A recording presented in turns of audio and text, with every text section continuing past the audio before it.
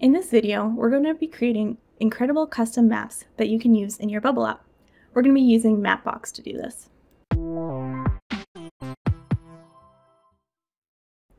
So the first step is going to be signing up for a Mapbox account. Uh, it is a paid service, but they do have a very generous free tier option. Then from there, we're going to head back over to our Bubble editor and search for the plugin Beautiful Maps Mapbox. So once you have your plugin installed, you're going to need a access token, um, which we can do from the Mapbox account here. So if we click create a token, we're going to name this maps project. And then you can leave these as the default scopes here. What I would recommend doing is uh, adding in your app's URL here, just so that if anyone does get hands on your access token, it won't work for them as it's limited to your URL. So to do that, what we're going to do is we're going to click the preview button. And then we're just going to copy everything that is before the version test path here. Copy that and paste that in here. And then we'll click create token.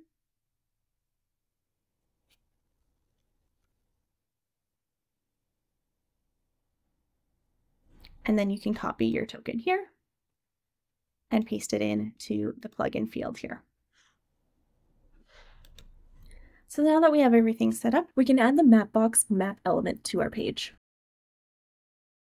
Uh, just like so. As you can see, there's a lot of different options here. We're going to start out just by customizing the size. So we're going to center our map. Uh, we'll make it the full width, and maybe we'll make it a maximum height of 600, just like so. So let's take a look and see what that looks like.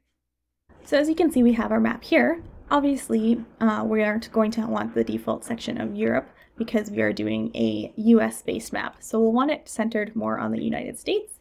We also might want to adjust the zoom slightly as well. So back in our editor, how we're going to do that is uh, in our style section here, we're going to adjust the zoom to perhaps uh, maybe six, zoomed in slightly more. And then we also need to grab the latitude and longitude of where we want the map to be centered. So if we go to Google Maps and we find where we would like our map to be centered, we can right click on the map and copy the uh, coordinates here. And then from there, we can copy and paste them into their respective values. So what I like to do is just copy and paste it into here and then just grab one component at a time so I'll grab the latitude first.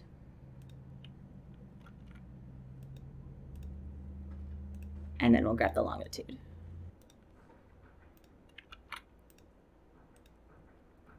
Perfect. Let's take a look at what we're working with now.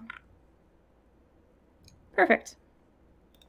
The Mapbox plugin does come up with a number of different styles um, that are built into Mapbox. So let's take a look at what the outdoor style looks like. As you can see, it's kind of given a little bit more shading to some of the geographic features. However, what we're going to do for this tutorial is add a custom layer through Mapbox with some different data sets. So to do that, we need to head back over to our Mapbox account.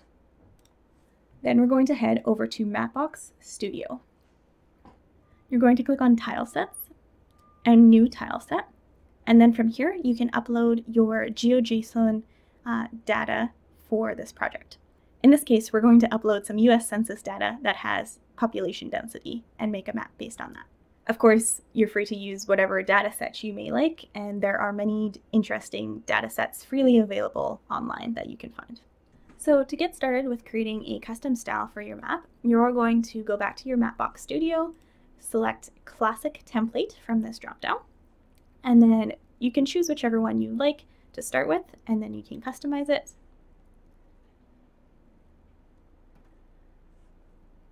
From here, what we're going to do is we're going to add a new layer, and this is going to be a custom layer. And then we're going to select that uh, GeoJSON data that we had uploaded previously. As you can see, it's showing all in green here. So what we need to do is adjust the styling. So if we click on the Style tab, and then Style by Density, and then select the density value. Now, the idea behind this map is that we want to show a heat map of population density by state. So states with a higher population density will be more colored in red, and states with a lower population density will be more colored in yellow. We can add in some stop levels to achieve this. And then this will be the various stops that we have in our data set. Uh, so we're going to add several stops in here. And then we're going to adjust them for each of our desired stop levels for our color. And then we're going to adjust our color values along the side here as well.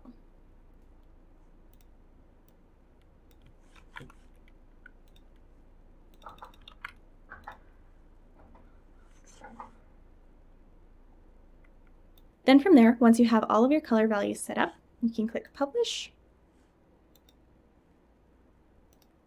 And then you need to click on the Share button, scroll down a bit, and copy this style URL. Then we're going to head back to our bubble editor and paste the style URL into the custom style URL field, change this to custom, and then we can preview what this is going to look like. So this is how you create a custom Mapbox Studio map and add it to your Bubble app. Of course, this is just one example of how to create a custom map. There are a ton of other ways you can customize your map. And of course, if you have any questions, please let us know in the comments section.